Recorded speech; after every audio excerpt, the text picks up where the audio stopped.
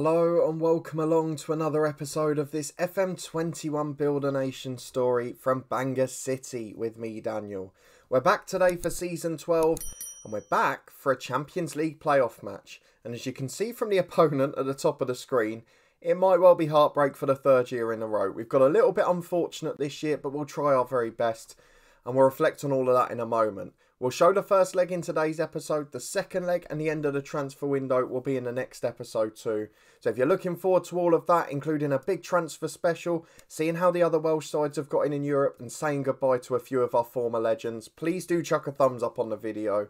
We've also set some records already this season, both on and off the pitch. So if you want to stay up to date and see if we can break more this season, subscribe down below and turn that notification bell on. You'll get alerts for daily videos from two long-term stories. Possibly the most incredible episode of Football Manager I'll ever make on a channel was yesterday's head coach episode. I'll put it in the eye above. If you haven't seen it yet, please do go over and give it a try because it was just astonishing on so many different levels. So I hope you enjoy that one. There's also links up there to our other playlists and the new food channel as well. And you can watch me live on Twitch regularly from FM21 streams all the way over to watch alongs for football matches too. And there's a link to that channel in the description below. So please do come and follow us and hopefully you'll have plenty of fun over there too. But let's start today by talking about both transfer market news, Welsh teams in Europe, and the fact that we've been playing our qualifiers and broken some records. You can probably see some of those on the screen here. We had a 13 0 aggregate win over B36 in the first qualifying round and a 26 0 aggregate win in the second qualifying round against Dudelange, who I think are from Luxembourg. They are. They did have a real player who's not very good, which gives you an indicator as to how we managed that but really remarkable to be brutally honest. And we're going to have a look at that today. But let's start with transfers because we've got to know who these players are that have been involved early in the season. And we've got to say goodbye to a lot of legends. And that's the reason we're only showing one game today. We had agreed to sell Max Dean to both QPR and Laon. He's rejected both of those. And it is probably the one position we're still looking for a player. Unfortunately, Luke Williams rejected us. He signed a deal at Hertha Berlin for £40,000 a week so we're not able to call on his experience this season. We have partly replaced him with one of those four signings there. However, I think what we said this summer is that in terms of the squad, we would have a big overhaul. We'd promote some youngsters, sign some squad players, and get rid of a lot of those aging legends. And we've done just that. Seven out so far, with Max Dean possibly to follow. Cameron Badebo was the first of the bunch, £13,000 to Kilmarnock. A really good player for us for so many years. Produced brilliant performances in the league and in Europe too. And after 145 league games for us and many more in other competitions, we say goodbye to him. He's off to Kilmarnock, and I hope he does well there, genuinely. A few loan players went out. We talked about those in the previous episode. Get as many out as early as possible in the window. Most of them going to top tier sides as well. It was followed by Elliot Andrew leaving for Wycombe. 37 league games for us. It surprised me when I looked that in three and a half years, that's all he'd played in a league. Because most of the games where he'd come in had been League Cup and Cup matches. So he's actually played almost as many games in the domestic cups as he has in the league. And if you put in Europe as well, he's played more games in other competitions than the Welsh Premiership. So a bit of a weird one, really. But a good goal scoring record, a really solid deputy. Never really had a stint as first choice, bar about two months when Max Dean was injured. But he's been a good servant, he's done a good job for us, and he leaves with our blessing. He's picked up a fractured toe already, unfortunately, but I'm sure he'll be involved for Wycombe in League One. Next up, possibly least surprising of the lot was Ben Cottrell. I mean, he was third choice last year between two youth players. And if he can't get ahead of those, he was never going to survive here. However, he's gone to Coventry and he's now playing championship football off the bench. So it's worked out quite well for him, hasn't it? Again, though, 134 league appearances for us, some special moments in Europe. And he was one of those first sensational loan players that we had that then came and joined us permanently. So for Ben Cottrell, fond memories. But again, just getting towards 30 and we decided to take the money and let him go. He had struggled with injuries more than most as well. And then after another loan player, four more left in relatively quick succession. We had Luca Cannell, who's gone to Dundalk for £9,500. For half a year at least, he'll be playing with Peter Holding, won't he?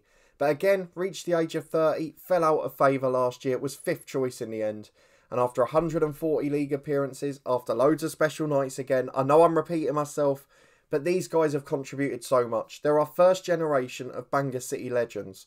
I'm hoping we'll have another one from this lot that we've bought in before we finish the save. But Luca Cannell remembered fondly what a player he was, and we wish him all the best over in Ireland. Archie Woods goes to Motherwell, another one to Scotland. We haven't really replaced him as such as a backup holding midfielder, but quite often we play Cannell or Williams in the holding role instead of him. And although he was a brilliant servant for us, not there quite as long as the others, but did really well, and he did sort of get pushed out a bit by Harvey Lloyd being so good. He is going to be an excellent player still, and at 27, he's still in his peak. We wish him well for the future. Two more to go, and probably the two that I'm saddest about to an extent in terms of the, what they could have offered our current team. Daniel Williams has gone to MK Dons for £10,000. 30 years of age, a Welsh player, an under 21 international, and even last season, we remember that free kick, don't we? The SPFL Trust Trophy final, he was the star. And again, he's done so many great things for this club. Not played quite so many league games, but arguably had the more big games in Europe where he produced on massive occasions. And he's a wonderful pro. So we wish him the best. You can see he's already flying in League One and the Carabao Cup.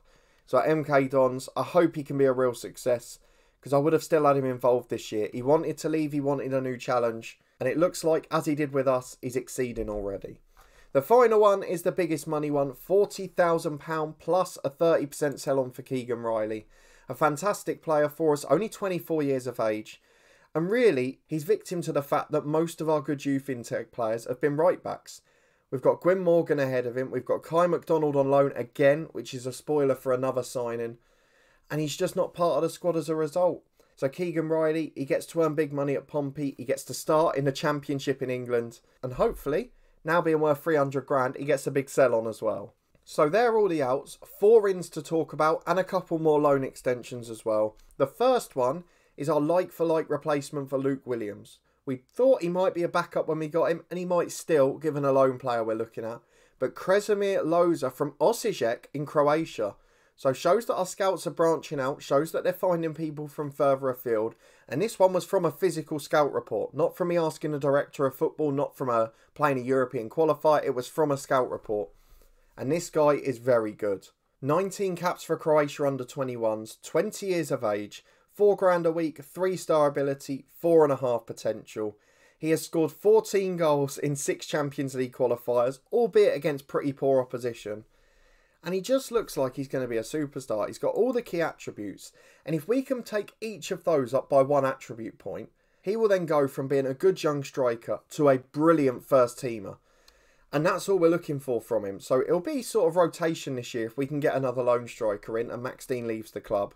But if not, he's going to get a season to shine, and I wouldn't bank against him doing it. He's been a fantastic player so far, and it'll be a big test when he comes up against the bigger opposition. But looking ahead to the Welsh Premier League games, based on his Champions League form, I have to say I think he's going to be a star. He's joined by Dan Wells on loan from Sheffield United. He was one of three or four options we had in centre midfield, but he was the only one that we didn't have to contribute a wage to. So we're getting a season of this guy for free. He's four star ability, four star potential. Natural in the number 10, natural in centre mid. Centre mid is where he's going to play more at the time. He'll be alongside the likes of Chris Broom and Patrick Malone moving forward. Scott Furlong has stayed for another year as well. So it means that with Cano and Williams leaving, we have really upgraded our backup team. And look at him, he's got a good personality, he's exceptional mentally. Technically, he's a wizard. He's over six foot, he's an imposing figure, and he likes to play good football. He's the sort of man I think is going to be a superstar. And again, Four appearances, two goals, and four assists. You can't ask for much more from him. Added to those, though, a couple more permanent signings. The first one is more important than it looks from the start. Justin Burrows is a free transfer centre half, 24 years of age, a former under 21 international. Good tackler, good positioning. Not the best player in the world, two star ability, two and a half potential, but can play anywhere across the back four and is two footed. Now, as well as being an important backup player for us, Justin Burrows is homegrown in the Welsh nation. He completed his training at Swansea. So it means that from last year, where we were stuck with 19 players in the Champions League squad, he's a 20th. He's an extra backup, and we can't ask for more than that. So the benefit of looking for players homegrown in the nation as backup squad players, the, the value of promoting some of the youth players as well, means that we're going to have a bigger Champions League squad, despite having less players at the club overall. It helps the wage bill. He signed a tiny deal on 400 quid a week. And I just think it's a bargain. The final one, a bit more of a first team candidate. That man is Scott McKenzie. And basically, I was looking for a centre half. We'd obviously got a little bit shorter there, having lost out on Keegan Riley and Badebo, who moved on. So to be able to replace them with one player on a free agent deal who can contribute in all competitions is exactly what I wanted. He's 22, he's a Scottish under 21 international, he's got room to improve and a good personality to do so.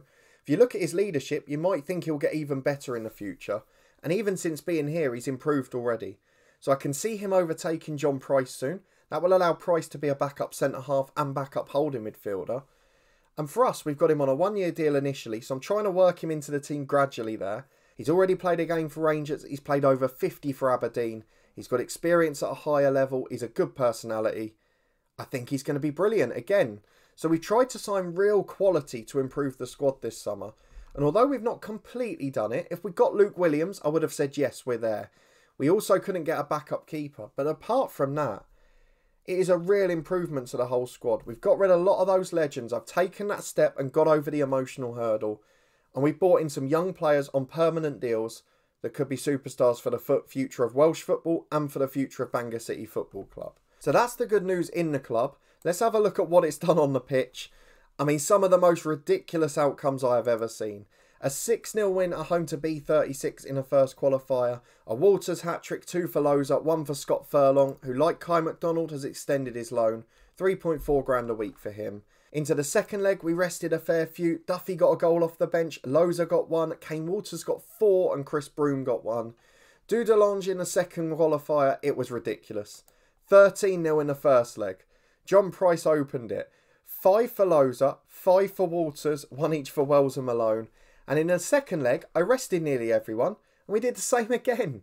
Walters got a hat trick, Loza got five, Kyo Bulkley, the youngster from the youth intake last year, got a hat trick, and then young defenders Pasiarek and Morgan got one each. Really positive there too. A 3 0 win away at Sheriff Tiraspol. A good win for us because Moldova is really competing around that 20th spot in European coefficients. So that's a big win for Welsh football as well as us. Kane Walters got two, Joe Duffy got one. It did frustrate us for a large part of that game, but we were professional, we got the job done. The same can't be said against Connah's Quay in the League Cup.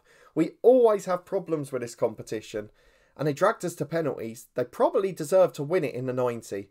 But thankfully, George Ratcliffe made one save from the penalty spot, and we managed to score all five of ours. So we get through on penalties after a nil-nil draw there, a 6 0 win followed, though, against the Moldovans in the second leg of the third qualifier. Loza with one, Furlong, Wells, and Broom all got a goal apiece, too. And Kane Walters got two. He always scores goals. He's on 19 already this season. And then at home to Llandudno, we rested everyone, but it didn't stop us winning. Dean, Duffy, and Pasiarek with one apiece. We missed a penalty in that one as well, but no harm, no foul. And that leaves us with Galatasaray in the first leg of the playoff round. Going to be a very difficult match. They've got loads of experienced players from England, loads of brilliant young Turks coming through. They've got a regen goalkeeper who's now 26. They've got three or four great youngsters involved in the squad. And they've also got experience across the board. So Jason Malumbi, we managed him in the head coach this year. The likes of Odsonne Edouard, Kelechi Iheanacho, Jordan Aina is going to be very difficult. However, we've got to reflect on the other Welsh sides involved in competitions. If we go to the Europa Conference to have a look at that, of course, it was Swansea Met Uni, it was TNS, and Barry Town United did win the qualifiers. And the first thing you'll notice here from the fourth qualifying round, the playoff, is that TNS are still in it. They've got AZ Alkmaar. I'd imagine it's going to be the last round they're in. But one of the Welsh sides has got through two qualifiers and made it to the playoff. That is a big, big plus for Welsh football. So first time around, TNS won 3-2 on aggregate against Byllis, Byllis of Albania. Now, Barry Town United won against Slovan Bratislava. That's got to be a good sign for the future because they've got a good team, some decent youngsters. But Barry Town United won on away goals after two draws. Well done to them. Unfortunately, Swansea Met Uni couldn't back it up. They lost 7 0 to SKN St Polten. They're a decent Austrian team and they got good youngsters as well. So we can understand that, but the other two doing us proud and got through. In the next qualifier, you can see TNS drew the first leg. In the second leg, though, if we have a look, Barry Town United got battered by the Swiss side Thun. They're a good team, so there's no doubt in that Barry were underdogs for that game, but a shame they lost by so much. TNS, though, as we know, got through. They beat Stjarnan 3 2 on aggregate. The Icelandic side, again, two and a half star reputation with good young footballers at the club, but TNS came out on top. They have got a couple of good loan players in this year, which we will have to watch out for. But that means TNS will face AZ Alkmaar for a place in the group stages of the Europa Conference. Now, it's very unlikely at this stage that will happen, but what an achievement, and that surely will boost the coefficient. So, after a busy summer, we'll have a look at the Welsh transfer window when we get to the end of it in the next episode. But the last thing I want to look at before we get into the game is the coefficients, just to update you. Now, Wales are in 20th place, but more crucially than that, next season are due to jump above Serbia and are very close to Greece and the Czech Republic. Now, part of the reason for that is we've already got two and a half points this season from Barry and TNS progressing in theirs, and it shows what a difference it makes. So, if we can have a good season ourselves, maybe dropping into the Europa League's a good thing because we'll end up going through the rounds and hopefully getting more points on the board. But we're up to 20th place there. The qualification places, if we go to 19th, it doesn't change. But if we get to 17th, we get in a round later in the qualifiers. So that means that then we don't have as far to go. We get an extra week of pre season to bring our players in. In terms of the leagues, though, the most important thing of the summer is the Welsh Premier League went up 10 places to 42nd in the reputation. Two and a half star league now, only three places behind League One in England, ahead of the Scottish Championship, ahead of the Irish Premiership, the Irish First Division, and ahead of some of the other big leagues as well. It's really pushing towards the top now, and I'm hoping we can go above League One next season because that will surely open up some transfer markets. So, great news for the league off the pitch, and great news for the club off it as well. The board, without us even asking, have agreed to expand the stadium. They came to us about a week after the last episode and said we're going to expand it to 5,100. So maybe we'll be able to host our own European games soon. We've also requested another upgrade to the training and youth facilities. Both of those have been approved. So as we go into this game against Galatasaray, whether we end up in the Champions League or the Europa League, it's been a wonderful summer for us and a pretty good one for Welsh football. And this is the team and squad we've gone for today. George Wickens did throw his toys out the pram a bit in the summer, but he's agreed to stay now. Still relying on Ratcliffe as a backup as we couldn't get anyone in. McDonald and Weaver the fullbacks. McDonald staying another season, still the best player at the club on paper. With John Price and Whittaker starting at centre half, I'm sticking with a tried and trusted relationship rather than throwing a new centre half in for these games. He'll build himself up in the league instead, McKenzie. Lloyd, Broom, Furlong, and Wells the midfield diamond. Tom Jones dropping out. He's going to set a league appearance record before this save ends, but he's not going to do it in Europe. Dan Wells is the star man here. And then Loza and Walters up front. Probably the area we're lightest now. Duffy and Dean are backups. They're still very good players. But we've not improved that position like we have the others. And our squad is a little bit weaker there. But let's go and get into it. It's Galatasaray in Turkey. And can we stay in the tie going into the second leg? That's the question we're asking. Let's go and get the answer. It's a very good team. They've gone for a lot of the Turks with the experienced players on the bench. So the likes of Timothy Weah and Odsonne Edouard just sitting there in case they need them. That's the difference between our sides at the minute. We're underdogs, we're going to drop to a balanced mentality and we're going to go and get through it.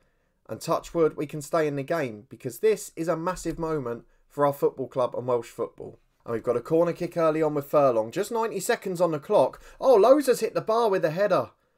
Almost got a dream goal away in Turkey, but Galatasaray rattled early on, and so was their woodwork. But they managed to survive it, and can we afford to miss chances like that? I just don't know. We need a repeat of Leipzig or Porto, don't we?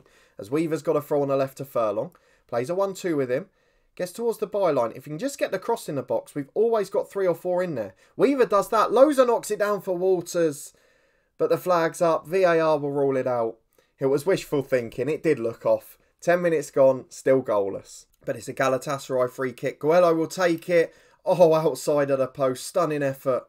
And we get away with one there. We're back with Price as he's playing out from the back to Yesden Weaver. On the left hand side, just a few minutes to the break, can we counter again?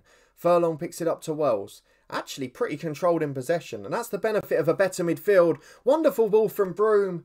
And now Kane Walters has missed a sitter. We can't afford to miss chances like this.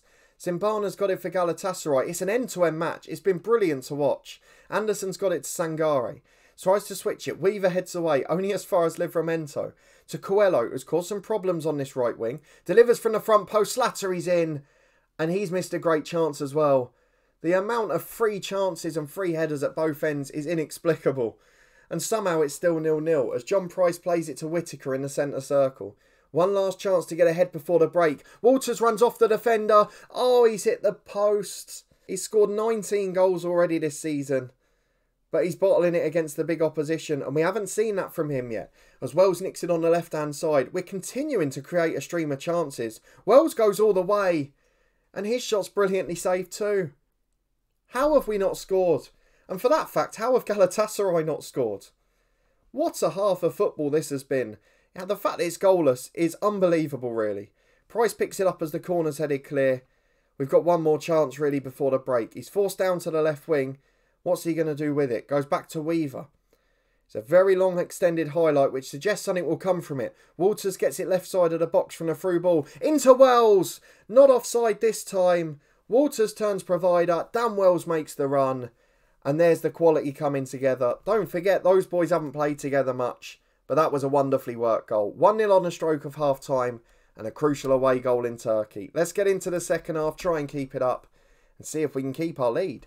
As we're back just four minutes into the second half, as Galatasaray playing a triangle on the right hand side. Coelho gets to the byline, his crosses blocked back to the fullback.